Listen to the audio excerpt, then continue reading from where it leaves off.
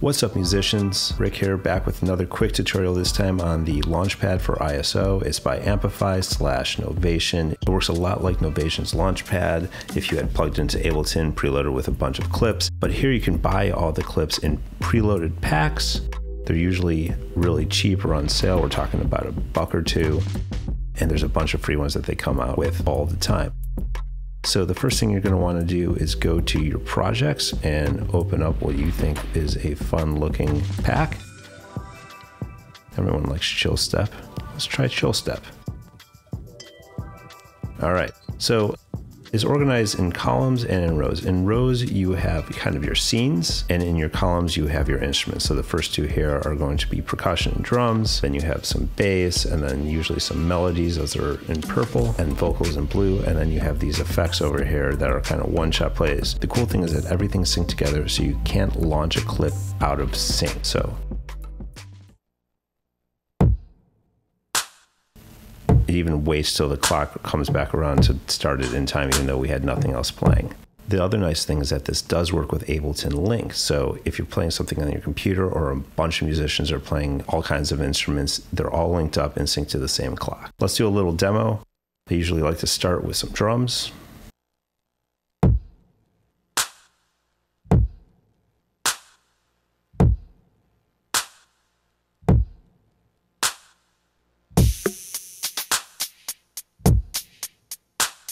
If you play everything in order left to right and up to down, you'll get a pretty good sound out of it. This is DJing made easy. Now I don't have to be accurate with when I launch the clip. It'll launch right on time every time.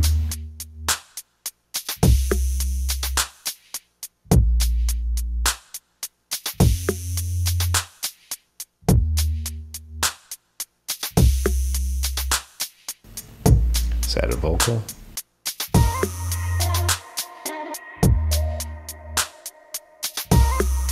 You can see in the circles how long the clip is, so the vocals are a lot faster than the drums.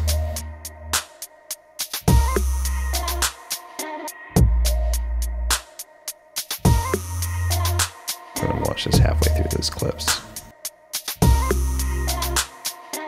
Now we're gonna come with the other one.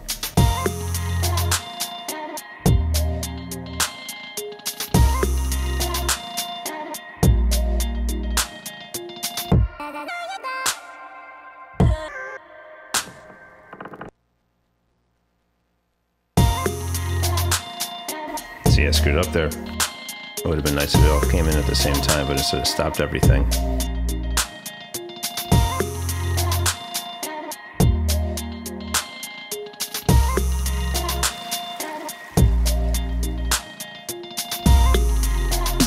Change things up a little bit.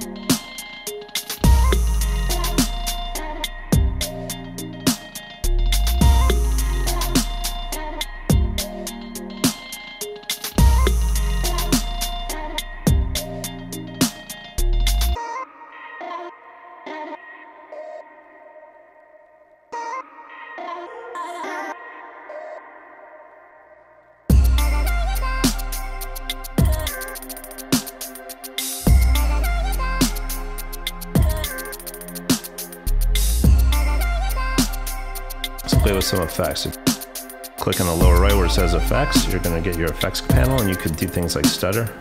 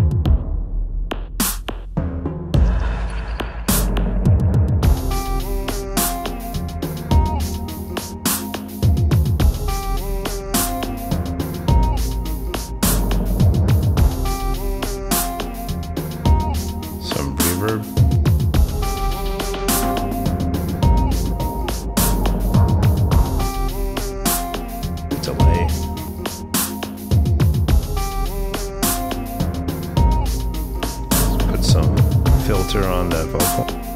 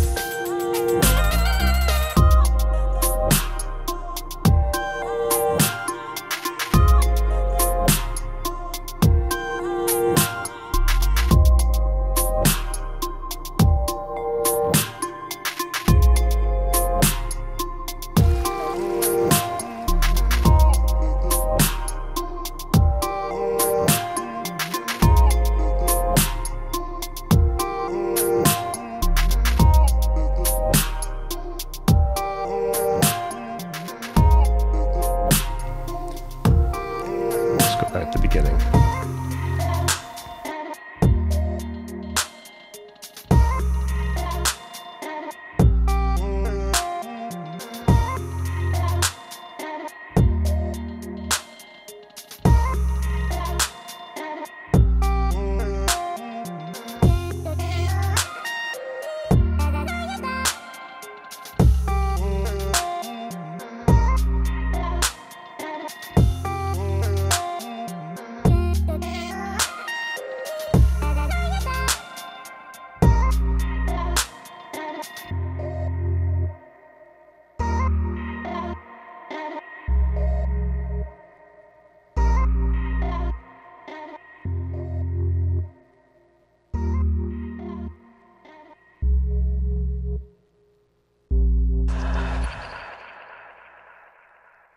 There you go. You can do things like change the tempo, you can do things like change the key, you can edit the effects and what column it affects. You could actually edit what the pads are, and in another tutorial, I'll show you how to do that using Blocs Wave to create your own sounds and load them into this.